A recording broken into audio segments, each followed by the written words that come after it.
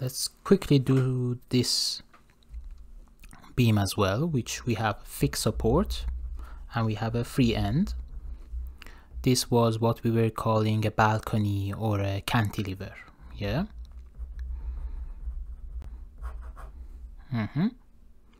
so let's draw the axis. This is just for our guide. So this is the beam length and this is the deflection. Mm -hmm. can you guess how is the deformed shape? For sure you can. If not let's bring this back. So fixed end free end the deflection goes up and down. If I apply a load downward for sure it will be something like this. So let's draw it. So the deformed shape that I guess this will have it will be something like this deformed shape. Let's remember that theta is this and let's write the boundary conditions.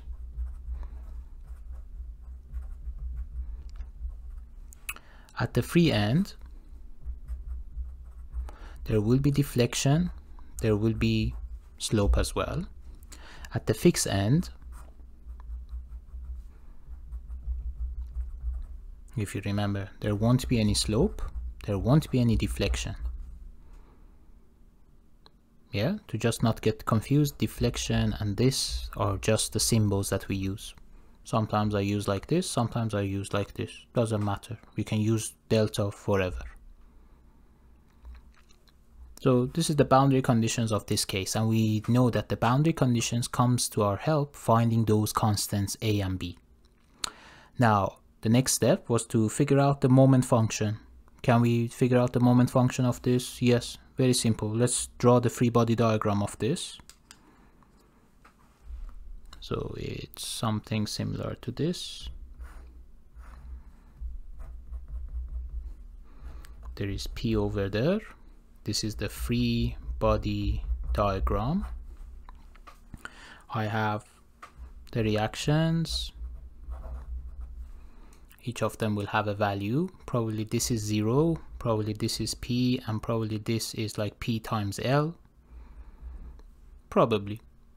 If you don't know how to calculate it like that the summation of all forces in x and y as well as the moment will give you that yeah but do we really need these values now no because we said we start from the left side we carry on until something distracts us. So if I start from this left side and I carry on, this is the distraction. So my cut section will be here. And I don't care about these. Now, if I bring this section out, it will be something similar to this. I have the P. I have a point here. We set the standard for moment is like this. moments moments shear shear because I'm cutting it here so I will have the same side so there will be v of x as well as a moment function m of x I cut it a tiny bit before the full length L. So this length is now x. Anything else? No. And I just want the moment function. So I say summation of all moments along point O, let's call this point O, goes to 0 with this direction as positive. This moment going along point O, yes, if you remember the moment, so I'm applying force, there's a pin here, this force along this, there is a distance here, this will cause a moment like this. Yeah? And we said moment is force times that perpendicular distance. Let's look at here. Moments along point O P going around O is clockwise so it's positive P times this perpendicular distance is X so P times X there is nothing else there is one negative mx. You see, this is my positive direction, that is mx. I'll bring it to the other side. So the function will be this. This is the moment function of this cantilever beam with one concentrated point at its free end. This is the moment function.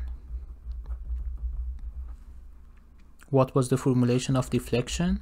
Negative integration integration m over ei d of x d of x.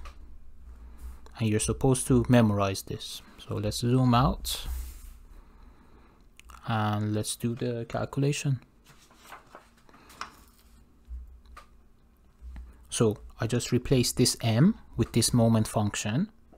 So it will be negative integration integration. Px I think I did a mistake. Sorry. This going around this is against this direction. So this is negative px okay. Yeah makes sense. This goes around it so it's anti-clockwise while my positivity was clockwise. So let's say negative px ei dx dx let's multiply that's negative in it. And let's replace all of this integration with this. If I multiply it will be px ei yeah? I'm sure you all know that this form of presenting this integration is true. Can I solve it? Let's do the first integration is p x to the power of 2 divided by 2 plus a constant. All of this times 1 over ei this time instead of putting ei this side I'll put it the other side. Let's do another one as well.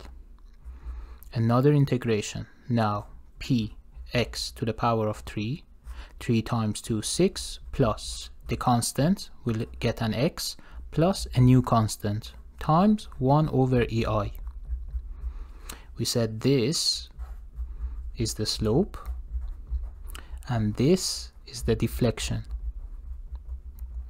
So the first integration gave me the slope. The second integration is giving me the deflection.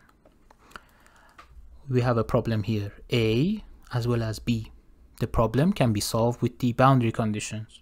So I say at x equal to let's say L, the slope should be 0,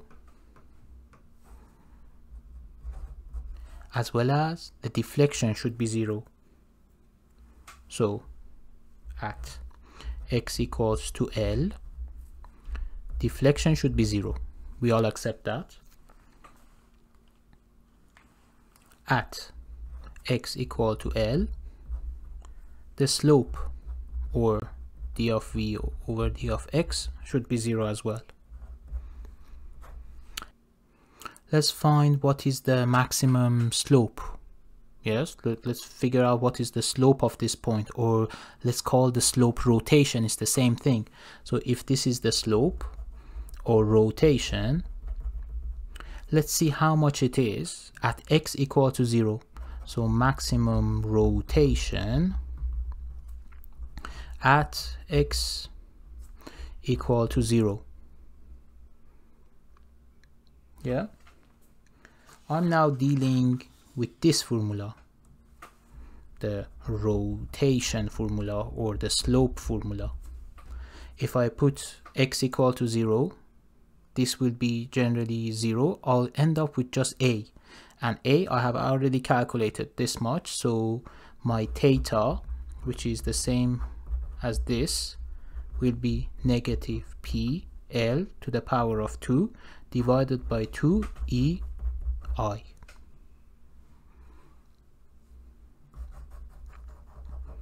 So this was deflection, this was slope or rotation. Yep. Now pay attention to the deflection. What is the relationship of deflection and E and I? When the material is strong, the E is bigger. Or when the material has a very strong cross section, I is bigger. If any of these guys get bigger, what happens to deflection? Deflection gets smaller. And makes sense. If you put pillow in it, the E will be very small, so the deflection will be very big. If you put aluminium or steel in it, E will be very big, so deflection will be very small.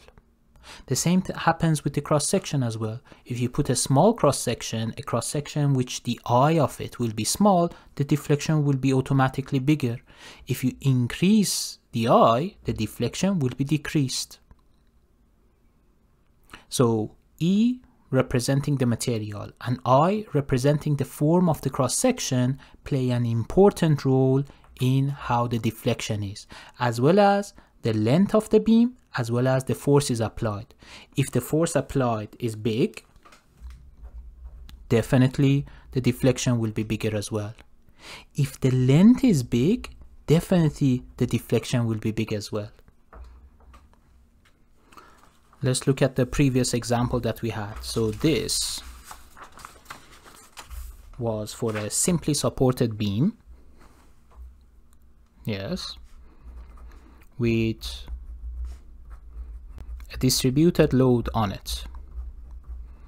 I'm sure by now you can guess that really doesn't matter whether uh, there is a roller here and a pin here or the opposite of this, a roller here and a pin over there. It's the same thing.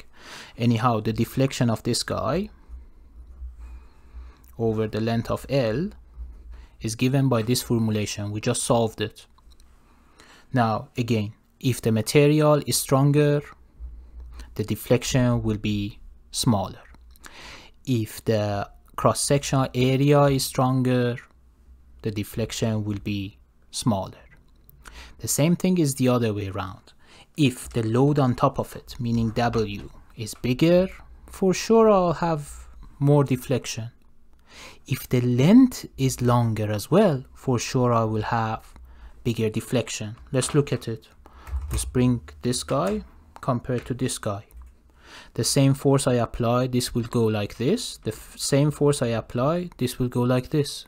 Trust me, I'm controlling my hands to apply the same force. This goes a little bit, while the same force, this goes a lot. So L and you can see suddenly it goes to the power of 4 has a very direct relationship with deflection. So always remember the force applied whether it's a distributed load or a concentrated load the length these two have direct in, um, effect on the deflection. If they are bigger the deflection will be bigger. But the material and the cross section have indirect effect. If they're bigger the deflection will be smaller a stronger material, a better cross section will result in a lower deflection. Generally in designing buildings, we want deflection to be minimum. Yeah, we don't want our beams to be bending. So we use material which have very good eye, like reinforced concrete or steel or aluminium or in some cases timber, or we use cross sections which are very efficient. For example, the I section, which is more efficient than a hollow rectangle or a circular section or a hollow circle. That's why I was invented. So that is it all for lecture 7 which we mainly discussed about the deflection of the beam and how we calculated through that double integration. Also we discussed the elastic beam theory as well which all of these formulations as well as the um, elastic section modulus are coming out of it. So pay attention to these, go through them, uh, practice, practice the worksheet problem number five as well, which has lots of these uh, problems related to deflection as well as the boundary conditions. And keep safe. Good luck. See you later.